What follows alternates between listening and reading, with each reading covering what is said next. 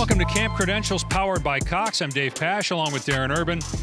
Darren, with DeAndre Hopkins out for the first six games, there's obviously a lot of focus on the wide receiver room, but I think this impacts the tight end room as well. Just listening to Zach Ertz in the offseason a little bit and Cliff, how do you think D Hop being out, how does that change maybe what we'll see from how Cliff uses tight ends? Well, I mean, first of all, just D Hop being out means that they're going to have to lean on him a little bit more because you just need those uh, pass catchers. The other thing, Dave, and you've been doing this for a long time too, this is probably their best tight end room that they've had maybe ever since they've been in Arizona.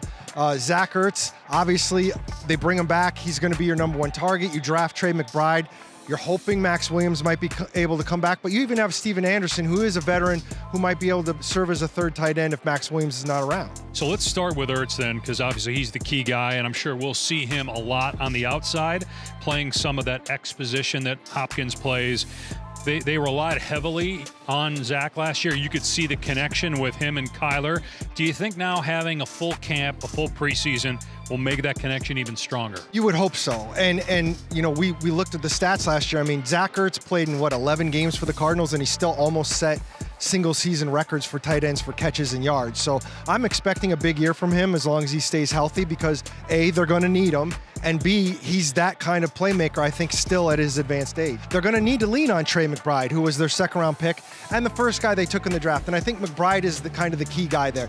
There's been a lot of talk that they might use two tight ends more often. Like you said, maybe moving Zach Ertz outside a little bit, maybe hiding a little bit more of what Cliff Kingsbury wants to do offensively and confuse the defense. And, and I think if Trey McBride can pick up that slack early, I think that really could help this offense. But you're asking a rookie to do something, and that's still a question. Right. How do we manage the expectations for a guy that clearly is talented, was a great college player, put up big numbers, but now it changes. You're in the NFL and you got to do it for 17 weeks. He's able to, to block. He's definitely a two way kind of tight end, a guy who can play in line if they needed, a guy who can let Ertz be outside. But again, rookies are rookies, and you're, and you're hoping it can happen that way. All right. Cardinals' first preseason game less than two weeks in Cincinnati.